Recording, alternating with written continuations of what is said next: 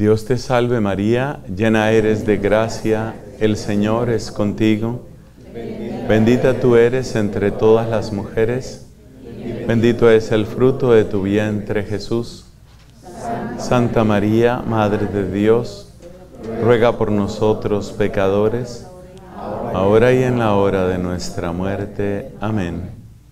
En el nombre del Padre y del Hijo y del Espíritu Santo. Amén. Siéntense, por favor. Después de arduo trabajo, hemos llegado a algunas preguntas. Algunas son de ustedes, otras son preguntas que ustedes les han escuchado a otras personas.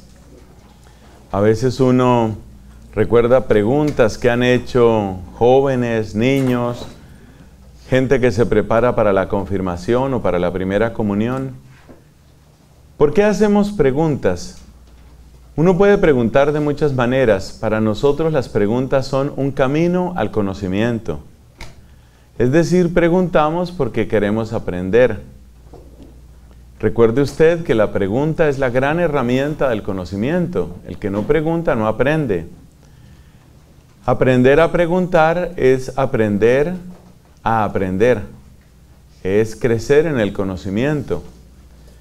¿Y por qué queremos crecer en el conocimiento? Porque hay una frase que está en la Biblia, ¿no? En el profeta Amós que dice, mi pueblo perece por falta de conocimiento.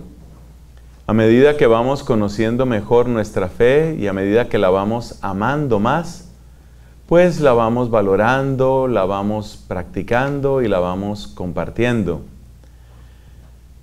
Aquí tenemos una serie de preguntas, vamos a hacer el ejercicio de tratar de responderlas y luego, si nos queda algún tiempo, sin abusar del horario de ustedes ni de lo previsto en este encuentro, damos también oportunidad de que pregunten desde sus lugares. Las primeras preguntas tienen que ver con la creación. La primera es como muy típica de lo que a veces preguntan los niños.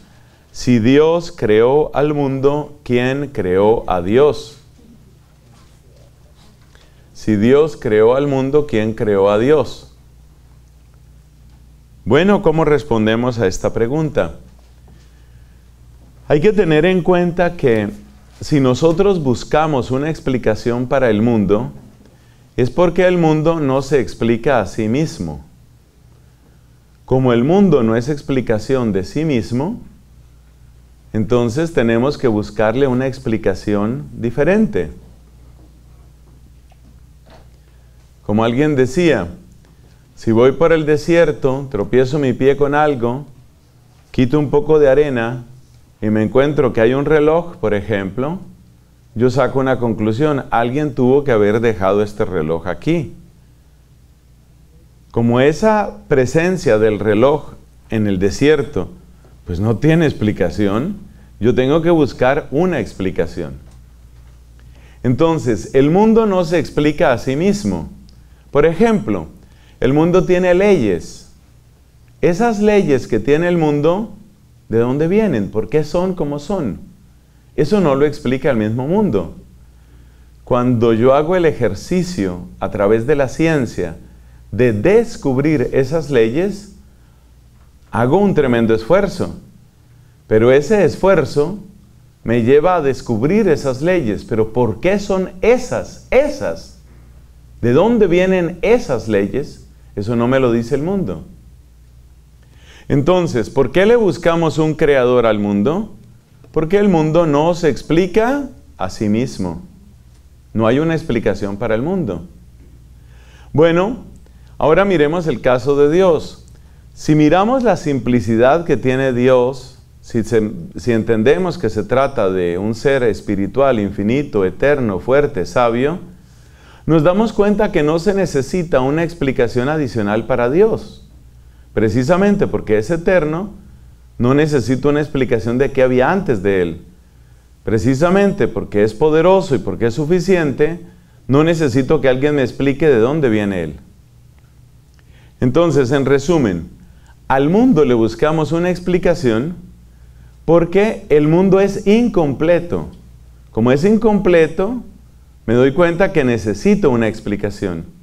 En cambio, cuando llegamos al infinito de Dios, nos damos cuenta que ese infinito no requiere una explicación ulterior.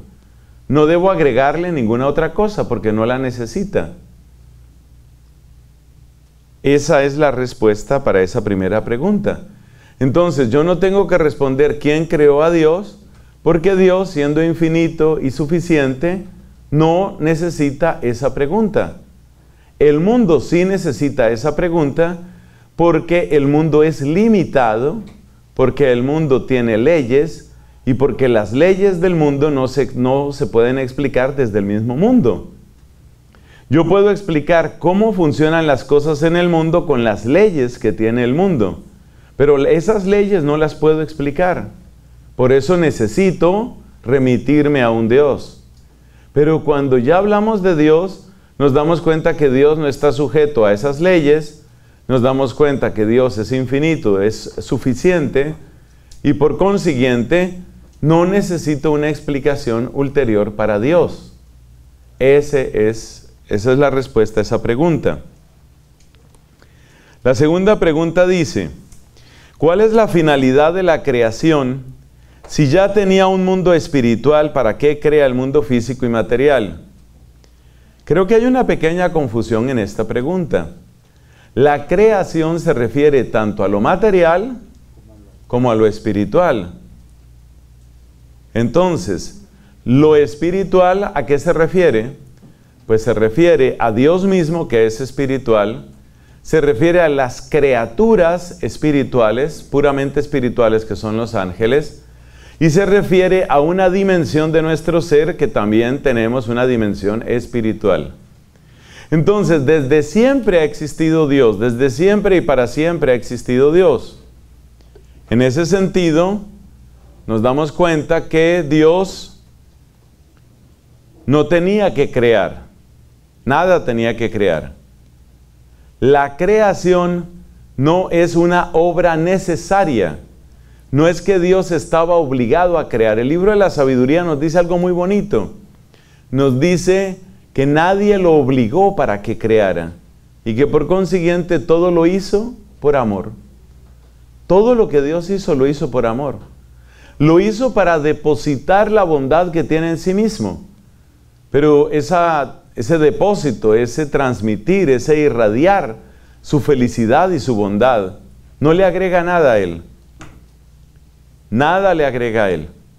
Entonces, para responder a esta pregunta hay que aclarar que cuando se habla aquí del mundo espiritual, pues realmente no es cierto. No es que siempre Dios tuviera un mundo espiritual. Dios era espíritu y es espíritu y será espíritu para siempre. Pero Dios no es que tuviera un mundo espiritual. Si por mundo espiritual esta persona se refiere a los ángeles, por ejemplo, pues los ángeles son creados por Dios, no estaban siempre, fueron creados por Dios. Ahora bien, la otra pregunta podría ser, ¿y por qué no se detuvo? ¿Por qué si hizo el mundo espiritual, ese mundo de los ángeles que ni siquiera podemos imaginar? Si Dios hizo ese mundo espiritual, ¿por qué hizo además el mundo material? Y la respuesta es que no tenía que hacer ni lo espiritual ni lo material. Ambas cosas las hizo simplemente por amor, por amor. Porque quería depositar en alguien la inmensidad del amor que él mismo tiene y que él mismo es. ¿Y por qué quiso depositar eso? Por amor. O sea que la única respuesta a la creación es bondad y amor de Dios. Y esa respuesta vale tanto para el mundo espiritual, que es el propio de los ángeles, como para el mundo material, que es el propio de los demás seres, minerales, plantas, animales y también nosotros. Así que si lo que se pregunta es por la finalidad de la creación, lo único que alcanzamos a entender es que Dios todo lo creó, lo creó por amor y para dar amor. ¿Eso le aumenta en algo la felicidad a Él? No. ¿Eso le da alguna ganancia a él? Tampoco. Entonces, ¿por qué lo hace? Porque ama. Esa es la única explicación que encontramos en la creación. La tercera pregunta dice, la ciencia dice que provenimos del mono, ¿qué dice la Biblia sobre nuestro origen? Propiamente la Biblia lo que dice es que Dios tomó algo de lo que había hecho y de ahí nos hizo. Evidentemente cuando habla del barro, barro, se refiere a algo que ya existía. O sea, el ser humano fue hecho a partir de algo que ya existía. Eso es lo que nos dice la Biblia. La expresión barro o la expresión tierra, pues está indicando algo que ya existía. O dicho de otra forma, con ese texto del Génesis, nosotros no podemos ni afirmar ni negar la teoría de la evolución. Los que creen que la Biblia se opone a la teoría de la evolución basándose en el Génesis, están interpretando mal la Biblia. Porque la Biblia lo que dice es que el ser humano fue hecho a partir de algo que ya existía. Ese algo que ya existía de donde salió el ser humano podrían ser muchas cosas. Podrían ser muchas cosas. En la medida en que Dios es todopoderoso, pues Dios podría crear de la nada directamente al ser humano. Podría haberlo hecho así. Pero la Biblia lo que nos dice es que tomó algo que ya existía y de ahí sacó al ser humano. Entonces, ese algo que ya existía, ¿podría estar conectado con otras especies animales? Pues sí, podría estar conectado con otras especies animales. Eso podría ser. Es decir, que Dios tomó una especie animal y haciendo una maravilla que solo Él conoce cómo, hizo posible que existiéramos los seres humanos. Pues sí, eso podría ser. En resumen, según la opinión de muchos, la Biblia no se opone a la teoría de la evolución. Una interpretación literalista y miope de la Biblia trata de decir que si ahí dice barro, pues tuvo que haber sido barro, agua con tierra. Esa manera de, pensar es, es, un poco, es un poco ilógica, porque resulta que normalmente la Tierra no tiene elementos como el fósforo o el magnesio o el hierro, y esos elementos los tenemos nosotros. Entonces cualquier físico, cualquier químico va a sentir risa. Si, fue hecho de agua con barro, de agua con tierra, ¿de dónde salió el magnesio, el fósforo? ¿De dónde salió el hierro que hay en cada uno de nosotros? Tú tienes una cantidad de hierro, por eso la sangre es roja. La sangre es roja por eso, porque tiene una molécula que se llama la hemoglobina y cada, cada molécula de esa hemoglobina tiene un átomo de hierro, o sea que tú tienes una cantidad de hierro. Entonces, de la tierra con agua, ¿de dónde sale el hierro? Por eso te digo, esa interpretación literalista solo sirve para que desprecien a la fe y para que desprecien a la Biblia. Lo que dice la Biblia es que el ser humano fue hecho a partir de algo que ya existía. Esa es la interpretación más correcta que podemos dar a ese texto. Además, recordemos una vez más, la Biblia no es un libro de ciencia.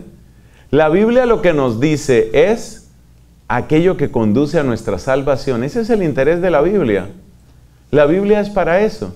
Entonces yo no tengo que entrar de pelea con la teoría de la evolución, no tengo que entrar.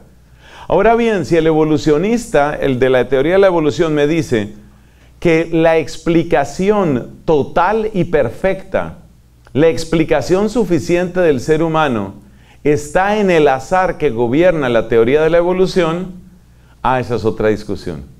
Esa ya es otra discusión. Que la explicación total y completa de la existencia del ser humano dependa de las leyes del azar, como fueron planteadas por Charles Darwin, ah, ya ese es otro tema. Ese es otro tema. ¿De dónde salió el ser humano? De algo que ya existía. Y eso no suprime la acción de Dios, no quita la acción de Dios. Pero que la explicación de la existencia del ser humano venga de las solas leyes del azar y de la materia, ese ya es otro tema. ¿Y cómo se aborda ese otro tema? con unas grandes dosis de filosofía, viendo las características de la inteligencia humana y viendo que la inteligencia humana es irreducible a la sola materia y por consiguiente no puede ser simplemente materia y azar que exista el ser humano. Ese, pero esa es otra pregunta. Esa es otra pregunta. Y esa otra pregunta no tiene que ver directamente con el dato bíblico. El dato bíblico lo que nos dice, y lo repito por última vez, es que el ser humano fue hecho a partir de algo que ya existía. Tercero, cuarta pregunta, perdón. La ciencia nos dice que existieron los dinosaurios. Sin embargo, la Biblia no los menciona en la creación. En el texto de la creación aparece un capítulo, dos capítulos.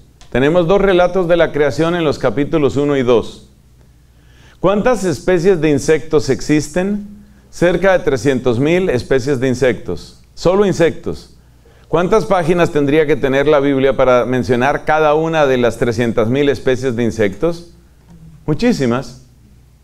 ¿Cuántas páginas tendría que tener la Biblia para mencionar cada una de las posibles especies de aves, de peces, de animales que han existido, que existen o que existirán? Muchísimas. Entonces la Biblia no menciona directamente los dinosaurios, como tampoco menciona directamente muchos insectos. Muchísimos insectos no aparecen mencionados ahí.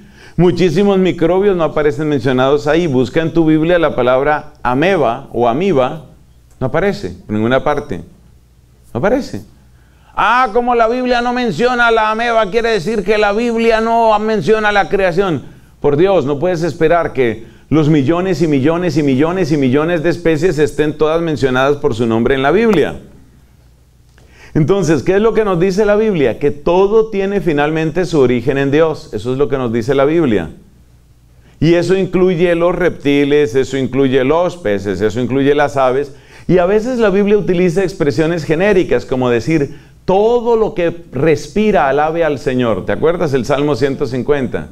Y todo lo que respira, ¿qué es? Muchas cosas. ¿Sabías que las cucarachas respiran?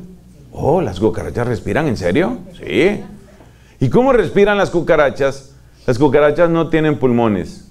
Entonces hay respiración sin pulmones. Claro.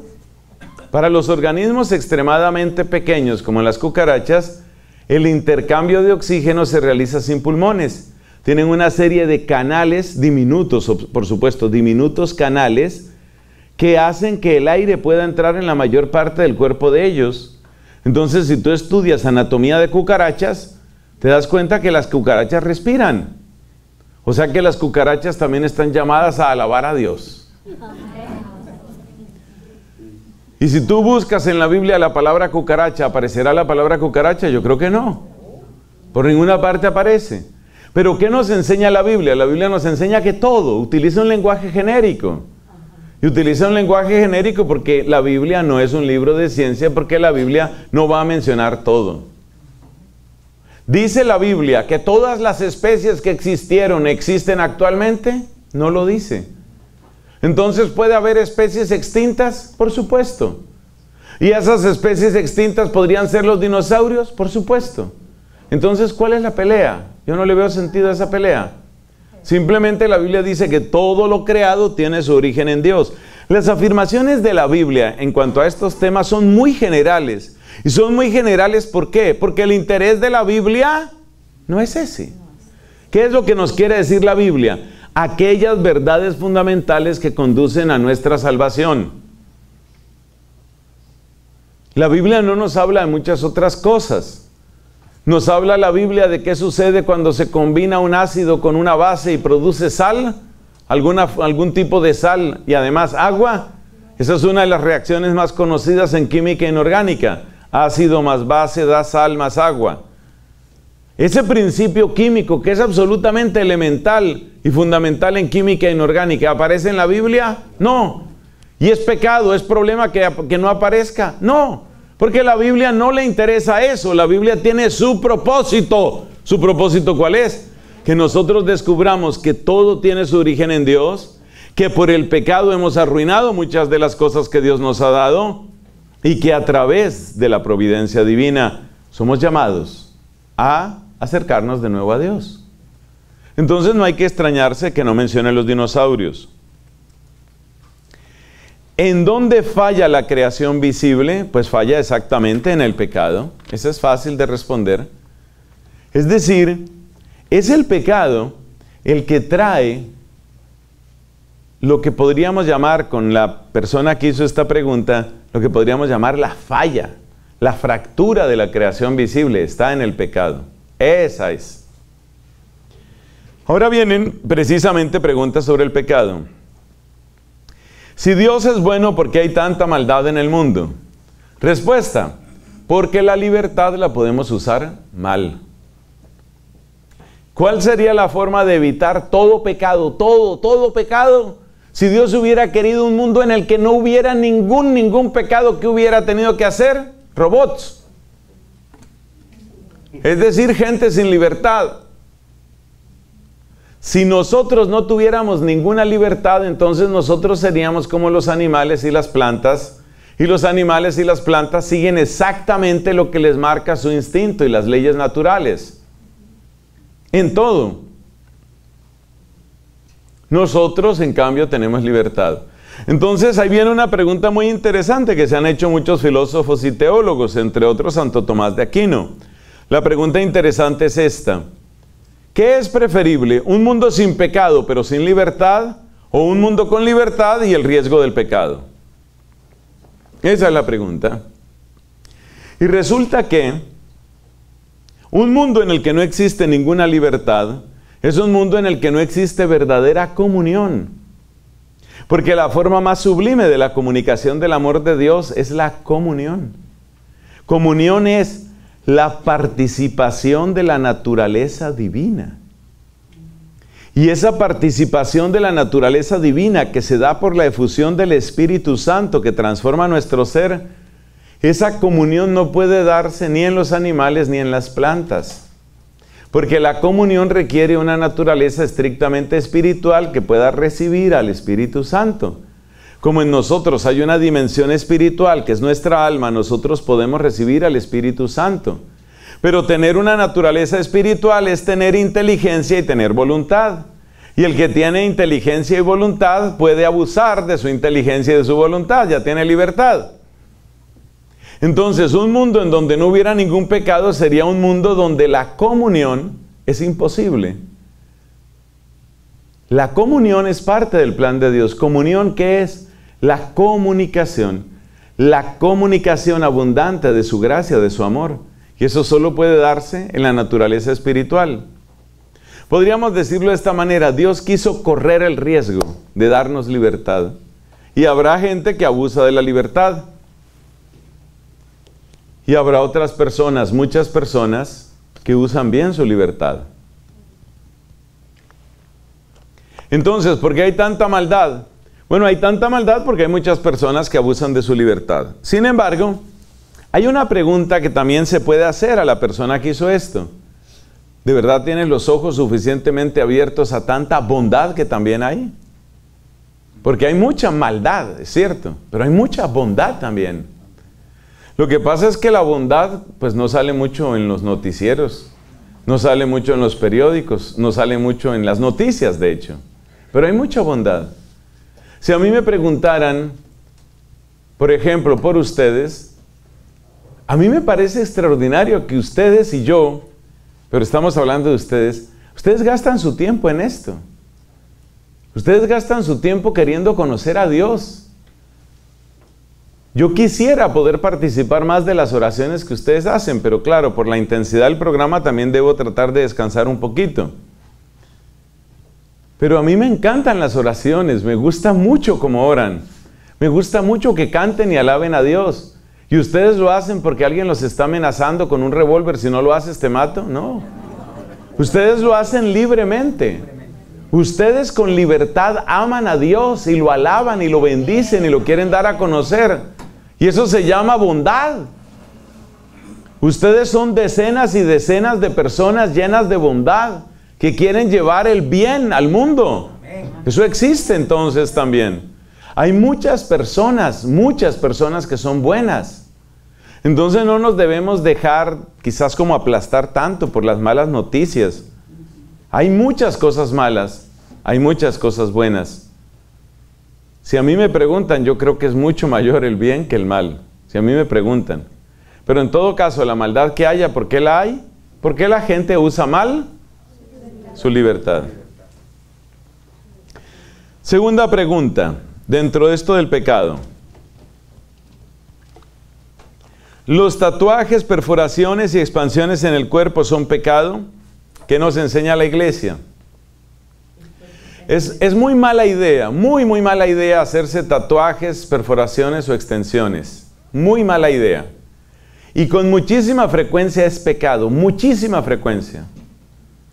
No se puede decir automáticamente que todo sea pecado. en esas perforaciones, extensiones o tatuajes.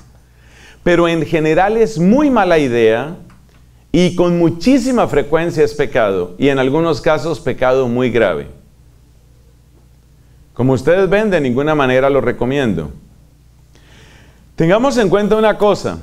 Una de las perforaciones es lo que muchas damas aquí tienen en las orejas. Esas son perforaciones, ¿no? Y ahí se ponen los aretes. Entonces, tampoco vamos a demonizar aquí todas las perforaciones y todos los tatuajes y todas las extensiones. No debemos demonizar eso. Demonizar es como tratar siempre como si fuera lo peor y lo más perverso. Pero en general son muy mala idea. ¿Por qué son muy mala idea? Vamos a tratar de dar dos o tres razones. a donde yo quiero llegar no es a que nosotros digamos, eso es de Satanás, apártense de eso. No, eso se llama demonizar. No. Yo prefiero decir lo que ya he repetido dos veces. Muy mala idea y con muchísima frecuencia pecado y a veces pecado grave. ¿Por qué decimos que es muy mala idea? Es muy mala idea por razones prácticas en primer lugar. Una de las razones prácticas es que una gran parte de personas se arrepienten de los tatuajes. Hay un chiste que anda por ahí en internet, un señor que publica un aviso clasificado en el periódico y dice, necesito una novia pero necesito que se llame Lucía, porque tenía un tatuaje que decía Lucía. Pero entonces peleó con su tal Lucía que tenía y entonces ahora, ¿qué hace? Que tiene un tatuaje que dice Lucía, pues le toca conseguir otra novia, pero condición, tiene que llamarse Lucía. Mire, muchísima gente se arrepiente de los tatuajes, mucha más de la que ustedes piensan. Lo que pasa es que una persona no lo va a decir tan fácilmente, pero muchas personas se arrepienten de tatuajes. Además hay un detalle importante. Un tatuaje para verse bonito, si es que puede verse bonito, para mi gusto, ningún tatuaje, pero bueno, supongamos, un tatuaje para verse bonito necesita una piel limpia, saludable y tersa. ¿Y qué pasa cuando uno envejece? Que la piel se desinfla, se marchita, se arruga. Empiecen a mirar ustedes tatuajes en piel arrugada. Esas fotos no salen en internet. Miren ustedes tatuajes en piel arrugada para que usted vea lo lamentable que es eso. Y la persona se da cuenta y la persona lo lamenta. Si usted tiene una piel relativamente templada, eso es lo que se llama piel tersa, y una piel saludable y una piel limpia, tal vez el tatuaje se le puede ver más o menos bien. Pero es que todos vamos a, vamos a padecer, ¿no? Lo propio de la edad. Y en la edad a usted le salen manchas, ¿cierto? A todos nos salen manchitas, a todos nos salen verruguitas, a todos nos salen arrugas, todos se nos desinfla la piel. Entonces es muy mala idea, tu tatuaje no se va a ver bien. Y antes de ponerte el tatuaje, mira a una persona que tenga 15 años con un tatuaje y míralo. Y ahí verás si realmente vale la pena. Estoy hablando de cosas prácticas. Tu tatuaje se va a ver mal. O sea, lo primero es, probablemente te vas a arrepentir de tu tatuaje. Segundo, tu tatuaje se va a ver muy mal. Tercero, el tatuaje además tiene muchos problemas de salud. ¿Por qué tiene problemas de salud? Porque resulta que el tatuaje consiste en meter tinta debajo de la epidermis. Eso significa que las agujas, el ambiente, la tinta tienen que estar perfectamente esterilizados, porque si no te están metiendo una infección. Es lo mismo que Decirle a alguien que te ponga más o menos 300 o 500 inyecciones, yo no sé cuántos puntos hay que utilizar, pero a veces son muchos puntos, muchos. Entonces, si tú vas a una clínica que te pongan 500 inyecciones, pues tú tienes que garantizar que las 500 agujas estén debidamente limpias. Pero suponiendo que las agujas estén limpias, todavía tienes un problema. La aguja tiene que penetrar a través de tu piel de manera que es posible que la aguja esté limpia, pero al penetrar a través de la piel se lleva lo que tú tengas en la piel. O sea que hay problemas también de eso. ¿Qué es le estás metiendo a tu cuerpo con un tatuaje? Es una pésima idea hacerse un tatuaje. Es malísima idea. Suceden muchas infecciones, probablemente no es algo estadísticamente tan grande, pero puede suceder. ¿Y por qué correr ese riesgo? Es muy mala idea hacerse un tatuaje. Y ahora viene otra característica. Mira los ambientes de los lugares donde se hacen los tatuajes. Mira el ambiente. Mira lo que hay ahí, mira lo que se representa. Y dime si ese es tu mundo. Sobre todo cuando tú crees en Dios, cuando tú crees en Cristo. Con los ojos de creyente que tú tienes, con el amor que tú le tienes a Cristo, acércate a ese ambiente. Ese ambiente, no importa que a ti te vayan a tatuar una cruz o un rosario. Ve allá ese ambiente y mira eso. Y dime, ¿ese es tu mundo? Eso hay que preguntárselo. ¿Por qué tengo yo que meterme a ese mundo? ¿Por quién me obliga a meterme a ese mundo? ¿Por qué tengo que entrar a ese mundo? Esa es una gran pregunta. Otra razón para no hacerse tatuajes es la siguiente.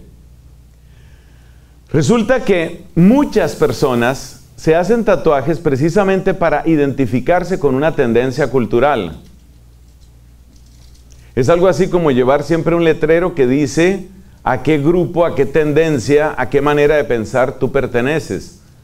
¿Estás seguro de que tú quieres ser identificado con esa forma de pensar? ¿Estás seguro de que esa manera de vivir es la tuya? Muchas personas desconocen los códigos que hay en eso.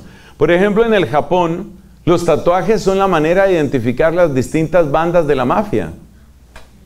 ¿Por qué tengo yo que identificarme con ese mundo? ¿Por qué tengo que hacerle propaganda a ese mundo? ¿Por qué? Finalmente, alguien podría decir, bueno, pero si yo utilizo tatuajes para ponerme un corazón de Jesús o para ponerme las espinas del Señor o para ponerme un rosario, está bien. Pues yo te hago una contrapregunta. ¿En dónde dice la escritura que esa es la manera de dar testimonio? La cruz no tiene que verse te pintada. La cruz tiene que verse en tu vida. Es tu vida la que tiene que estar tatuada. Es tu vida la que tiene que mostrar el rostro de Cristo. Qué bonito ponerse uno una pintura en el brazo, en la cara, donde sea, y quedó resuelto. ¿Quiénes eran los que se ponían pedacitos de la ley de Moisés y los amarraban a los vestidos o se lo ponían delante de la frente? Los fariseos. ¿Y qué dice Cristo? Que esa no es la manera de servir a Dios. Entonces es muy mala idea, incluso con las cosas religiosas, es muy mala idea, pésima idea. Si faltara todavía un argumento, te agrego otro.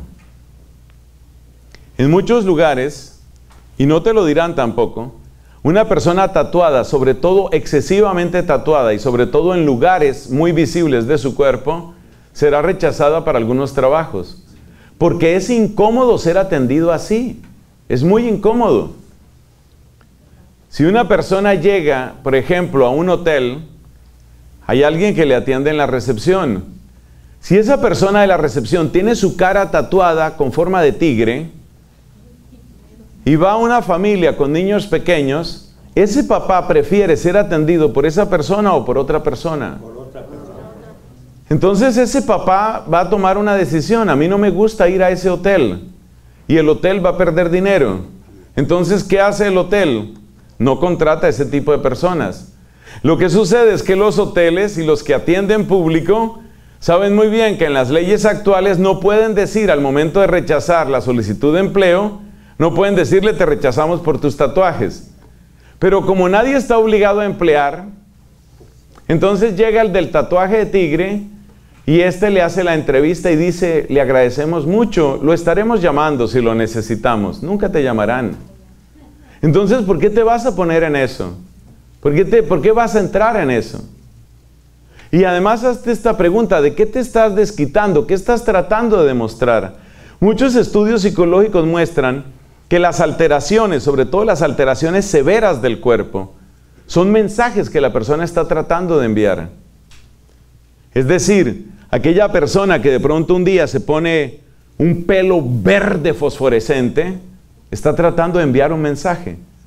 Entonces, ¿por qué no te preguntas más bien cuál es el mensaje que estás tratando de enviar y por qué no lo envías por el canal por el que puede ser realmente recibido? Si una persona se pone un vestido completamente ridículo o estrafalario, o como decimos, con colores completamente chillones, si una persona empieza a cargar una cadena esa persona está diciendo algo. Entonces, ¿por qué no te preguntas más bien qué es lo que estás tratando de decir? Y cuando te preguntes qué es lo que estás tratando de decir, seguramente llegarás a una conclusión. Necesito sanarme. Y si necesitas sanarte, ¿no te parece que es mejor camino sanarte? Si lo que necesitas es sanarte, es mejor eso. Si yo empiezo a caminar por una calle de un barrio y voy dando gritos, gritos, diciendo cualquier cosa, ¿qué concluye la gente? La gente concluye, ese tipo está trastornado mentalmente. O quién sabe qué le pasó, está desesperado, tendrá algún duelo, se le murió alguien, no sé, está mal de la cabeza. Al rato van a llamar a la policía, te lo aseguro que al rato llaman a la policía. Pues tomar esas actitudes corporales extremas es gritar, pero no con sonidos, sino con imágenes. Entonces el que se pone su pelo fosforescente está gritando. ¿Por qué no articulas tu grito? ¿Por qué no aclaras qué es lo que te da rabia? Hay algo que te da rabia, hay algo que te duele, hay algo que te falta. ¿No es mejor que te pongas en la tarea de sanar lo que te hace falta en vez de estar gritando? Si esa persona está gritando por la calle, pues llega la policía, pero la policía no va a ser violenta. En muchos lugares, por ejemplo aquí en Estados Unidos, tienden a ser bastante razonables los policías, aunque a veces hay excesos. El policía se va a detener junto a ti y te va a decir cordialmente, ¿Is everything okay? Are you okay? Eso es lo primero que te va a preguntar. ¿Usted está bien? ¿Está todo bien? Sí, sí, sí, estoy bien. Algunos vecinos están preocupados, eh, temen que usted pueda ser una persona violenta. ¿Quiere acompañarme a la patrulla, por favor? Queremos revisar su identificación. ¿Y qué es lo que va a mirar ese policía? Va a mirar si tú eres un peligro. Va a mirar qué es lo que te está sucediendo. Entonces, estas alteraciones del cuerpo, estas alteraciones dramáticas del cuerpo, ¿qué es lo que quieren? Enviar un mensaje. Si tú quieres enviar un mensaje, ¿por qué no lo envías bien, de manera que sea entendible? Y sobre todo, si ese mensaje es un mensaje de dolor que tú llevas adentro, el camino es sanarse del dolor, no andar gritando. Y andar gritando son esas alteraciones. ¿Qué actitud debemos tomar nosotros con las personas que hacen estas cosas? Primero, una actitud de profunda comprensión.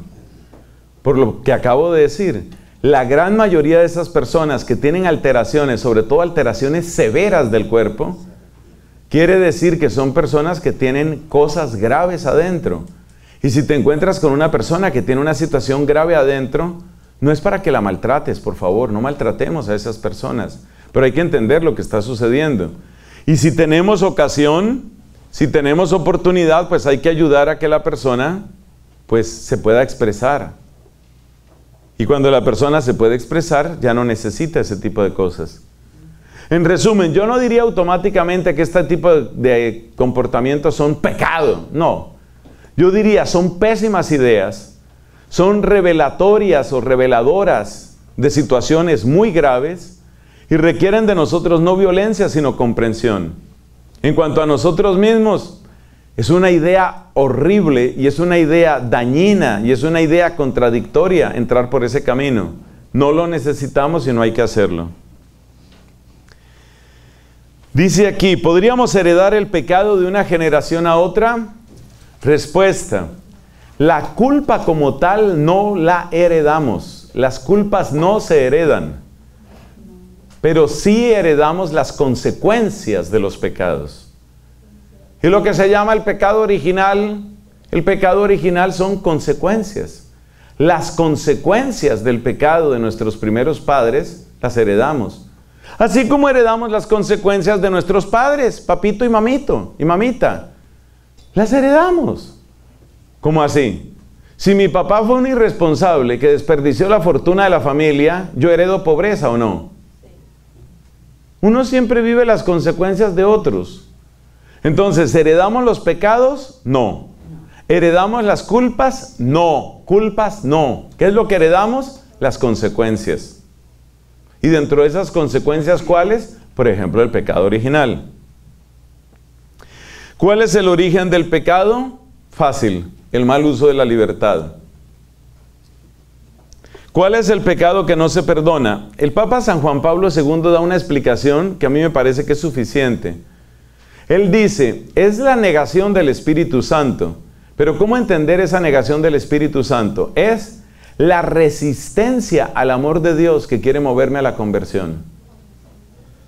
Si Dios me quiere mover con su amor a la conversión y yo me estoy resistiendo, yo mismo me pongo en una situación en la que mi propio pecado no puede salir. Entonces, ¿cómo entiende la iglesia lo del pecado que no se perdona?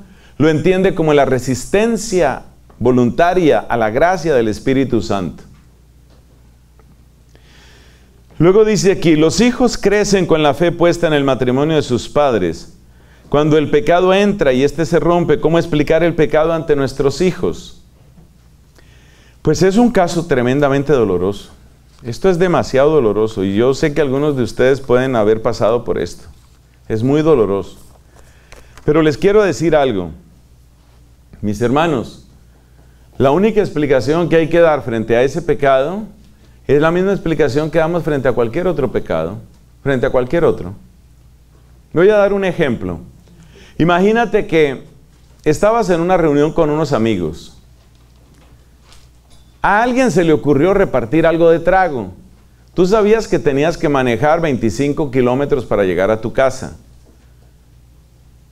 Pero ah, ese día tenías ganas de tomarte unos dos tragos. Tú dijiste, imposible que por tomarme dos tragos, pues vaya a quedar que no puedo manejar. Tampoco soy tan tonto como para no poder manejar con dos tragos y te tomas tus dos tragos y después agarras tu carro y te vas para tu casa.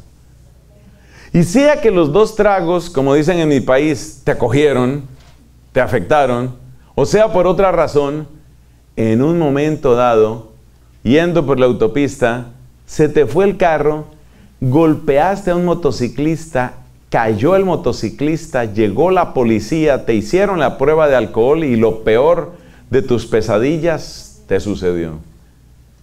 Te has metido en un problema gravísimo, gravísimo. Se va a afectar tu licencia de conducción, vas a tener que pagar multas, es decir, tu vida se ha complicado terriblemente por esos dos tragos. Y entonces, resulta que tú tenías que llegar a tu casa a las 9 de la noche. Por supuesto, con ese problema no llegaste ni a las 9, ni a las 10, ni a las 12, ni a las 3 de la mañana. Después de llamar a tu mujer para explicarle lo que sucedió, y después de llamar a un abogado, y después de perder cientos y cientos de dólares, y después de muchas complicaciones quedas libre con prohibición de manejar por un poco de tiempo. ¿Y quién se dio cuenta de todo eso? Pues tu esposa, pero además tus hijos. Entonces, tú eras el que llevaba a los hijos al colegio y ahora ya no los puedes llevar. Entonces tu hijo de 12, de 13 años se da cuenta que tú no lo puedes llevar. En algún momento vas a tener que explicarle qué fue lo que pasó esa noche. ¿Y qué le vas a decir? Pues seguramente empezarás diciendo, hijo, quiero contarte que cometí un error. ¿Cierto que eso es lo que vas a decir? Entonces, eso es lo mismo que sucede en el caso doloroso de un divorcio. También ahí las palabras que hay que utilizar es, creo que hemos cometido errores. Y lo más sano, lo menos dañino para los niños en ese caso extremo es hablar de los errores de ambos. Nada le hace tanto daño a los niños como decir, yo soy el único que me equivoqué. O su mamá fue la única que se equivocó. No. Lo menos dañino es explicarle a los niños, mire, hemos cometido muchos errores no supimos manejar esto, estamos en esta situación. Es decir, como cualquier otro pecado, así también hay que explicar este. No hay nada más que hacer. Eso les va a romper el corazón. Eso les va a hacer un daño terrible. Pero dejarlo sin explicación es peor. Hay que dar alguna explicación. Y esa explicación va a ser humillante y te va a traer muchísimos problemas. Porque después de que tú hayas fracasado manejando tu carro, o todavía peor, manejando tu matrimonio, Después de que hayas fracasado, las cosas van a ser mucho peores. Una de las cosas que va a pasar es que tus propios hijos te van a respetar mucho menos. Y no es extraño que en algunos casos los hijos echen en cara ese tipo de cosas. ¿Usted qué me viene a decir, borracho? Qué problema tan grave. Pero lo único es humillarse, orar, tratar de dar buen ejemplo, tratar de no infundir odio y seguir adelante. Pero es muy duro. Algunas preguntas sobre los patriarcas. ¿Cómo sucede el llamado de Abraham por Dios? ¿Cómo se manifiesta? ¿Cómo sucede el llamado de Abraham por Dios? Pues nosotros no tenemos detalles, realmente no sabemos. Como hemos dicho, hay muchas maneras por las que Dios habla, de eso hablábamos un poquito ayer. A veces Dios nos habla como pensamientos que llegan a nuestra conciencia, como inspiraciones. A veces son acontecimientos, a veces Dios nos habla a través de otras personas. ¿Qué es lo que parece probable que le haya sucedido a Abraham? Algo así como una especie de pensamiento que él se daba cuenta que no venía de él mismo como una inspiración que le daba al mismo tiempo una certeza en el alma de que, de que ese no era él, de que era algo superior a él lo que le estaba hablando. Pero la verdad, no lo sabemos, eso no lo cuenta la Biblia. Podemos hacer algunas suposiciones porque conocemos cómo Dios le ha hablado a muchos santos y conocemos pues la obra que Dios hace con sus santos. ¿Puede ser algo así? ¿O qué sucedió? ¿Qué le pidió Dios a Abraham para probar su fe? Probablemente lo que Dios en su intención, Dios en la intención del mismo Dios, lo que quería era mostrarle a Abraham que todo, todo está debajo de la obediencia de la fe. Algo así como decirle, en todo momento, tú me amarás a mí por encima de todo, por encima, por encima de todo.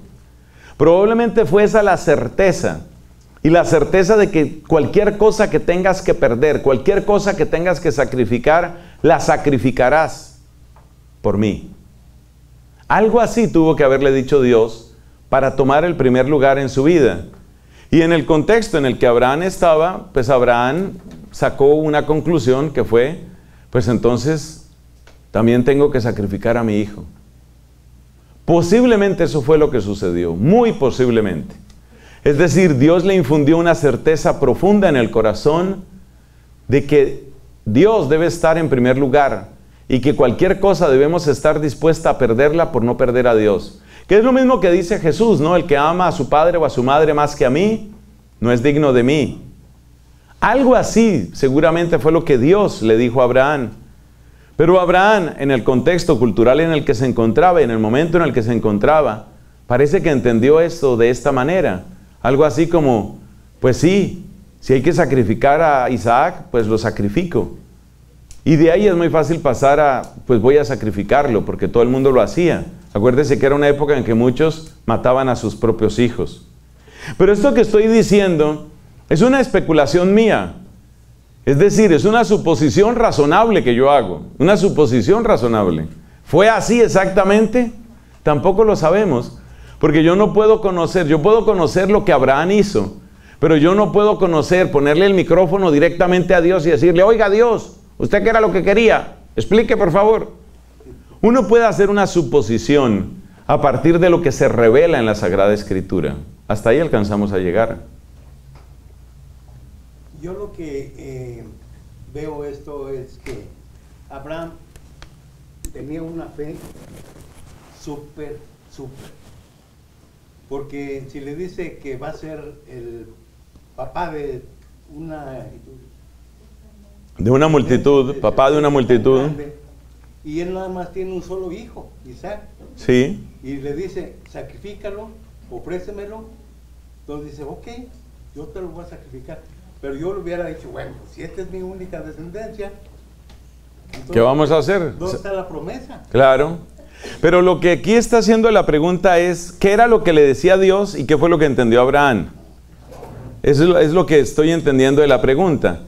Entonces, tratando de hacer una suposición razonable sobre qué era lo que le decía Dios, parece que lo que le hubiera dicho Dios era, yo tengo que estar siempre por encima de todo en tu vida. Y Abraham entiende eso, capta eso, como sacrifica a tu hijo. Pero esto es muy especulativo. Esto nosotros no tenemos manera de darle directamente el micrófono a Dios, como digo, no, no tenemos manera. Nosotros podemos suponer razonablemente a partir de lo que pasa en la Biblia, podemos suponer razonablemente cosas como la que yo acabo de decir, pero eso no va más allá de una suposición que hace este sacerdote, no más. No tengo ninguna otra autoridad ahí. ¿Por qué Jacob le quitó la progenitura a Esaú, su hermano, siendo este el primogénito? Porque la primogenitura significaba una gran bendición y la mamá fue la que intervino ahí. La mamá se llamaba Rebeca. Y Rebeca tenía sus preferencias, porque dicen que las mamás algunas veces tienen preferencias. Entonces le preguntaban a una mamá que tenía dos hijos, uno se llamaba Alberto y el otro se llamaba Brendan. Y entonces le dijo, ¿usted prefiere Alberto o prefiere a Brendan? Y entonces ella dijo, yo no tengo preferencias entre Brendan y mi campeón. Entonces las mamás a veces tienen preferencias. Entonces esta mamá tenía una preferencia. Era un asunto totalmente carnal, carnal en el sentido de que es gusto humano, puro gusto humano. Le parecía, qué sé yo, más, más astuto, más simpático, le parecía, no sé, las mamás tienen sus razones para preferir a los hijos. A veces prefieren a los hijos, a veces prefieren a las hijas, no sé, tienen sus maneras. Y eso no es de Dios, eso es simplemente preferencia humana. Entonces Rebeca tenía preferencia humana. Y ahora viene la terrible pregunta. Y si una preferencia humana, ¿por qué Dios se somete a eso? ¿Cierto? Porque Dios se sometió a eso, porque Dios le dio efectivamente la bendición. Es que sabes una cosa, esa es una de las características de la libertad que Dios nos ha dado. Dios te dio la libertad y en la libertad Dios te dijo, yo quisiera que tú fueras, voy a inventar aquí algo, ¿no? No se refiere a nadie.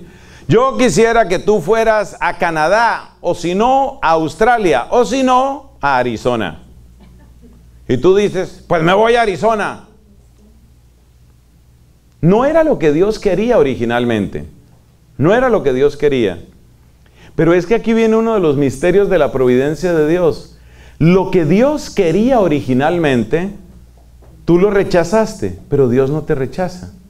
O sea que en el nuevo plan que tú sigues, también Dios tiene nuevos planes para ti. Y eso fue lo que sucedió ahí. Realmente en justicia el que tenía que recibir la primogenitura era Esaú. Pero entró la mamá. La mamá, dicen en mi país, de metiche Dice, no, a mí me parece que Jacob es el que se la merece. Y organiza toda una historia. Y tiene todo un plan. Eso es trampa. Trampa. Vieja tramposa. Pero esta tramposa entra en la historia. ¿Y Dios que se retira? No. Es que eso es propio de Dios. Bendito sea su santo nombre. Aún a pesar de nuestros caprichos, Dios no abandona. Hay un pasaje del libro de los Hechos de los Apóstoles que me impacta. Cuando están llevando prisionero a Pablo, lo están llevando hacia la ciudad de Roma. Hay un momento dado en el que Pablo dice, esta no es fecha para navegar en el Mediterráneo. Él sabía muchas cosas. Él dice, esta no es la fecha para navegar. No es la fecha para navegar. Y el capitán creía que sabía más que Pablo y dijo, pues nos vamos. Y navegamos así. ¿Y qué pasó? ¿Qué cree usted que pasó? El barco encalló.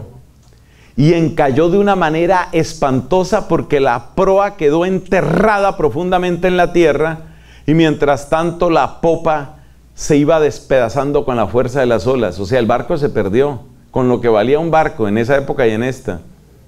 ¿Y qué dice Pablo? Pablo dice, hubiera sido mejor que me hubieran hecho caso. ¿Y se quedó con esa palabra solamente? No. Añadió, pero Dios me ha revelado que ni una sola vida se va a perder. ¿Ve? Entonces, ese es Dios. A veces uno es terco. Y Dios tenía primera idea Australia, segunda idea Canadá, tercera idea Arizona. Y usted dijo, pues me voy para Arizona. Bueno, no usted, otra persona. Acuérdese que usted, no, usted, por favor. Pero Dios, cuando usted se volvió caprichoso, ¿lo abandonó? No. No. Y Dios otra vez, con su misericordia y su providencia, dice, ay, profundo suspiro. Ay, si habrá gente terca, Dios mío. Pero bueno, ¿y qué hace Dios? Sigue amando, sigue ayudando. Eso fue lo que sucedió aquí. ¿Por qué era tan importante transmitir o dar la bendición del Padre al primogénito? Qué pregunta tan bonita esta. ¿Sabes una cosa? Eran tres promesas, ¿no?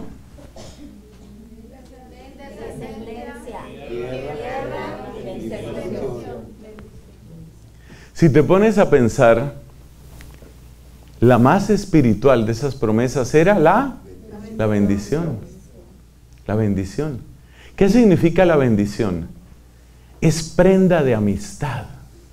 Te voy a bendecir, dice Dios. La bendición de Dios es una prenda de amistad. Es lo más grande. Es una amistad particular. Voy a tener bendición, voy a tener amistad particular contigo. Amistad particular. Entonces esa era la grandeza que tenía la bendición. ¿Por qué si Dios prometió que nos daría una tierra, tenían que invadir y matar a los que ocupaban esa tierra?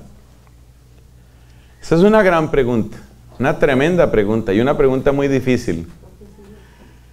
La pregunta es, ¿por qué cuando ellos llegaron a Canaán no encontraron la tierra despejadita? ¿Cierto que lo hubieran encontrado despejada, el pasto cortado, los árboles bien sembrados? Pero eso sería haber encontrado qué? El paraíso. ¡Wow! Siempre hay alguien que responde. Dios no los llevó al paraíso. El paraíso siempre lo repetimos. El paraíso tiene como primer habitante la serpiente. Dios no los llevó al paraíso, los llevó a la tierra prometida. Paraíso, paraíso no hay. Solo hay paraíso cuando Cristo crucificado le dice al ladrón arrepentido, hoy estarás conmigo en el paraíso. ¿Y ese paraíso dónde era? La gloria del cielo. En esta tierra ningún paraíso. ¿Qué cuentos de paraíso aquí? Cuidado con las comodidades, cuidado con los demasiados lujos, cuidado, cuidado, socio, cuidado. Bueno, entonces, por ahí entendemos que Dios no nos estaba llevando al paraíso. Pero viene una pregunta de justicia. ¿Era justo que llegaran estos a sacar a los otros? ¿Era justo eso? Es una pregunta terriblemente difícil. Pero sabes una cosa, cuando uno mira lo que había en esos lugares, cuando uno mira esas costumbres que ellos tenían, es difícil pensar que estaban mejor como estaban. Acuérdate lo que ellos hacían. Los sacrificios, la prostitución sagrada, sacrificios de seres humanos. La prostitución sagrada, la idolatría permanente, la invocación a los demonios. Nosotros con nuestra mentalidad, ¿qué pensamos? Nosotros pensamos, no deben aplastarse las culturas. Nosotros pensamos, hay que evangelizar.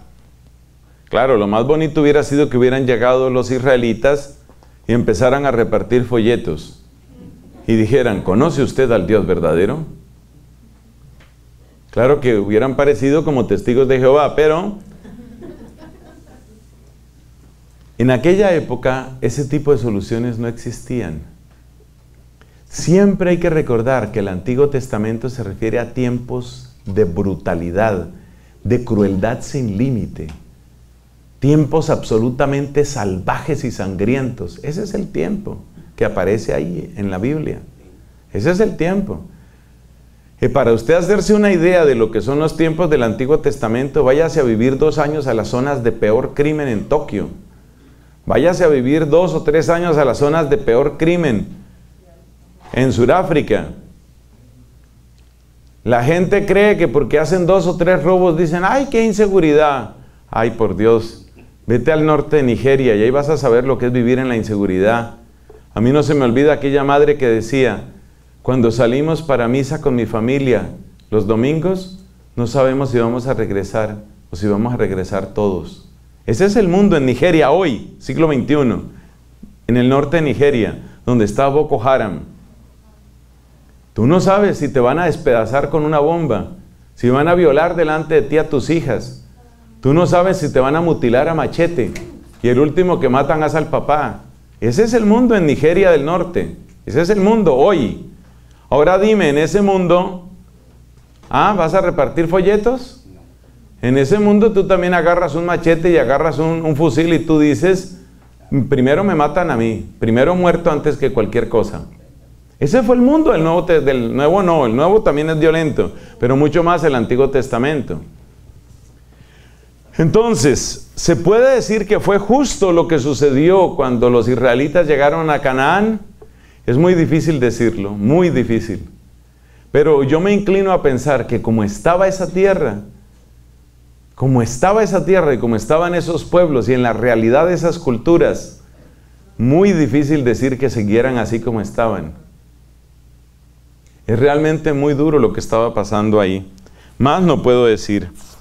Pasamos a las últimas preguntas, señoras y señores, el tiempo se va acabando. Yo sé que ustedes tienen algo de pesar porque el tiempo se va acabando, se les nota el pesar en la cara. ¿Cuántos tipos de sacrificios pidió Dios a Moisés y por qué? Empecemos por la parte del por qué. ¿Cuál era el sentido de los sacrificios? ¿Cuál es el sentido de los sacrificios? Los sacrificios tenían en general, hablando en general de los sacrificios, tenían un propósito. El propósito de entender que lo mejor es para Dios. Si te das cuenta, la primera condición en los sacrificios, ¿cuál es? escogerás un animal perfecto. Un animal sin defecto.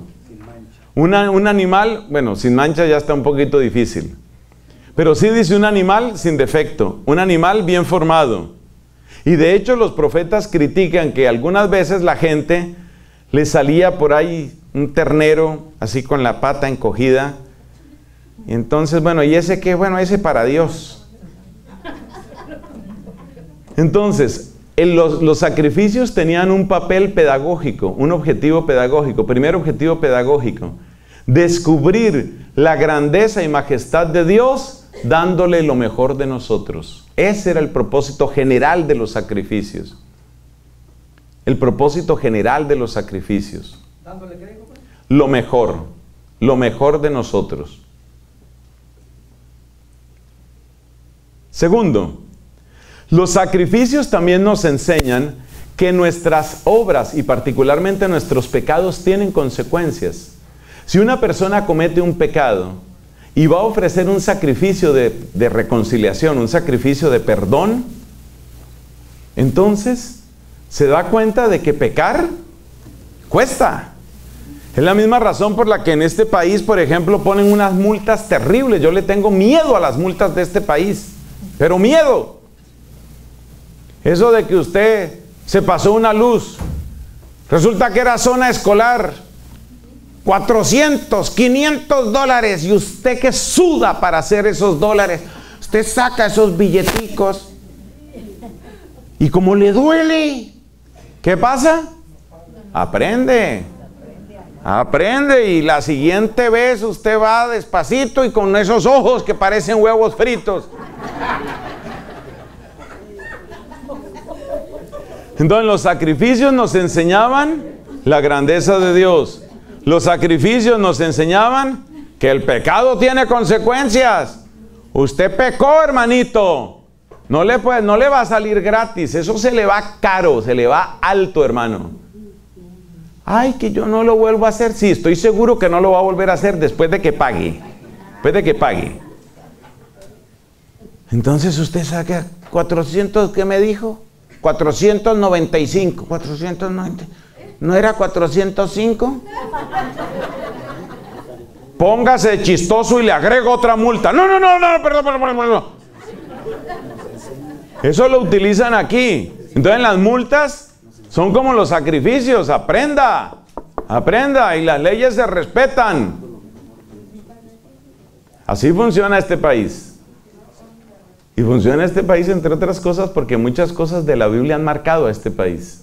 Ahora está muy descristianizado, pero Estados Unidos estaba muy marcado por la Biblia, muchísimo. Por ejemplo, eso de las multas es muy bíblico. Entonces, ¿los sacrificios para qué eran? Para aprender que lo mejor es para Dios. ¿Los sacrificios para qué eran? Para aprender que el pecado tiene consecuencias. ¿Los sacrificios para qué eran? Tercera cosa, para despertar la generosidad. Había lo que se llamaban las ofrendas voluntarias. Si usted llegaba un día y decía, ¿sabe qué? Quiero ofrecer este cabrito a Dios. ¿Por qué? Ofrenda, ofrenda voluntaria. O sea, son un despertar de la generosidad. ¿Y el despertar de la generosidad es una cosa buena? Claro. Un corazón generoso es un corazón que tiene mayor salud, que tiene mayor bendición. Es un mejor miembro de la sociedad. Entonces los sacrificios son pedagogía para mostrarnos que Dios lo merece todo. Los sacrificios son pedagogía para mostrarnos que el pecado tiene consecuencias. Los sacrificios son pedagogía para mostrarnos tú puedes ser más generoso. Y los sacrificios son también pedagogía para mostrarnos el orden sacerdotal. Hay sacerdotes. No cualquiera ni en cualquier lugar ofrece sacrificios. Acuérdate que uno de los grandes errores y barbaridades de Jeroboam fue que él se inventó sus sacerdotes. Usted, el de bigotico, a ver, sacerdote. ¿Yo? ¿Yo, yo por qué? Vaya sacerdote, yo lo nombro, yo el rey lo nombro sacerdote. Pues usted no tiene cómo nombrarme. Ya quedó nombrado, vaya. Ese era Jeroboam. Por supuesto, esos abusos de poder tenían que acabar mal. Entonces, ¿para qué servían todos estos sacrificios? He mencionado cuatro. Ah, no, y me falta uno. Los holocaustos estaban enseñando, estaban mostrándonos que todo nuestro ser ya le pertenece a Dios. El holocausto era un sacrificio muy impresionante porque era sacrificar todo el animal sin comer nada. En los otros sacrificios se podía comer algo del animal. Pero en el holocausto se quema todo el animal, se quemaba todo. Primero le sacaban la sangre, ¿no? O sea, moría cuando le sacaban la sangre, lo degollaban. Pero queda el animalito, queda el cadáver pues del animalito. Y lo queman todo, todo. O sea, se pierde todo. Se pierde, no se entrega todo. Entonces, los sacrificios de alabanza, de reconciliación, de ofrenda voluntaria, de perdón, de holocausto, cada sacrificio enseñaba algo. Y es muy bonito. ¿Son prefiguración del sacrificio de Jesús? Claro, muy bien dicho. Y si miras cada una de estas cosas que hemos dicho, todas se pueden aplicar a Jesús. Jesús es el que de manera voluntaria se entrega todo. Es como un holocausto. Jesús es sacrificio de reconciliación. Él nos muestra cuál es el precio del pecado. Mire las llagas de Cristo, mírelas. Ese es el precio del pecado. Eso es lo que cuesta pecar. Dios lo merece todo. Eso lo muestra Cristo. ¿Cuál fue el gran sacrificio de Cristo en la cruz? Su voluntad. Que no se haga mi voluntad, sino la tuya. Entonces, por supuesto, en Cristo se dan todas las dimensiones del pecado, todas. Todas se dan. Qué lindo Cristo, qué hermoso nuestro Señor. En Él se dan todas las dimensiones del sacrificio, todas las dimensiones. Y por eso le cae todo el peso del pecado. Y en la carne de Cristo se puede ver todo lo que es el pecado. Pero al mismo tiempo, en la carne de Cristo se puede ver todo lo que es la misericordia. Todo lo que es la misericordia, ahí se ve. Claro, eso es bellísimo. ¿Las leyes que recibió Moisés vinieron directamente de Dios o fue una interpretación de Moisés? decíamos, la palabra interpretación no nos gusta, porque interpretación es como que él entendía una cosa y dijo otra. No. Moisés nos dijo lo que él entendía. Él no hizo una interpretación, él dijo lo que él entendía. Y los profetas dijeron lo que ellos entendían lo que ellos entendían era exactamente el dictado de Dios? No sabemos, no sabemos. Nosotros no tenemos cómo ponerle un micrófono a Dios, yo insisto en esa imagen. Pero hay algo que sí sabemos, que cada vez en la historia de la salvación, Dios nos hablaba con mayor y mayor y mayor claridad, hasta que nos dio la máxima luz en Jesucristo. Y esa luz se perfecciona en nosotros, la iglesia, a través del, del Espíritu Santo. Eso es lo que sí sabemos. O sea que cada vez entendemos mejor, cada vez, cada vez entendemos mejor. Cada vez la iglesia, guiada por el Espíritu, apoyada en la palabra revelada, entiende mejor. ¿Y por qué Dios no hablaba claramente desde el principio? Respuesta. Porque es que el lenguaje de Dios desde el principio no son simplemente instrucciones para obedecer. El lenguaje de Dios desde el principio, y óigame muy claramente esto, el lenguaje de Dios desde el principio es diálogo con nosotros. Diálogo con nosotros.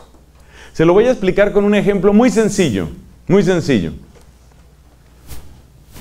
Si un niño de tres años o de cuatro años me pregunta, ¿qué tienes en esa botella? Yo le digo agua. Yo le digo agua. Si un estudiante de química avanzada me pregunta, ¿qué hay en esa botella? Yo seguramente le diré H2O. Pero si yo le digo al niño de cuatro años, tengo H2O, no entiende nada. Entonces el ser humano era como un niño y tocaba hablarle cada vez más claramente. Eso se llama el plan de Dios, la pedagogía de Dios. Entonces Dios poco a poco nos hablaba acomodándose a nuestra capacidad de entender, que al principio era muy pobre. Como hablarle a un niño de dos o de tres años. En algunos países para indicarle a un niño que no debe hacer algo y que nunca debe hacerlo y que ahí no se hace, utilizan palabras que no se deben decir en un video. Niño, no. Y le dicen esa palabra. Esa palabra que corresponde, que me da vergüenza decirlo, al excremento humano. Así le dicen al niño. No, no, niño, así no. Realmente le están diciendo algo que es feo pero es para que el niño entienda, porque el niño sí que entiende que ese excremento humano, no, eso no. Entonces hasta allá llegan los papás. Mire, si va a hacer eso, pam, pam por la cola. ¿Por qué no le dice, niño, no corresponde a la dignidad de tu condición que tú hagas eso? No corresponde al orden de la sociedad que te comportes de esa manera. ¿El niño podrá entender explicaciones como esas? Jamás. Entonces el niño entiende pam pam, el niño entiende, eso es lo que entiende el niño. Entonces Dios manifestaba con su amor su voluntad y lo que el ser humano en su torpeza y en su necesidad lograba entender, era lo que lograba entender. Y hasta ahí. Cada vez íbamos entendiendo mejor. ¿Quiénes son los que le entienden mejor? Los santos. Siempre los santos van delante de nosotros. Penúltima pregunta, señoras y señores, esto va llegando a su final. Si Dios permitió en el Antiguo Testamento que los sacerdotes se casaran, ¿por qué en la actualidad no? Porque ahora estamos mejor que en la época del Antiguo Testamento, por esa razón. Hubo cosas que Dios permitió en el Antiguo Testamento y que no permite ahora, y es mejor que no las permita. Por ejemplo, en el Antiguo Testamento permitía, evidentemente permitía, que algunos hombres tuvieran varias mujeres. ¿Le parece si volvemos a eso? No. Ah, bueno, entonces. Entonces hay muchas cosas en las que hemos mejorado. Hay muchas cosas en las que hemos mejorado y por favor, caballeros, cuidado con lo que dicen en estos momentos de efervescencia y calor.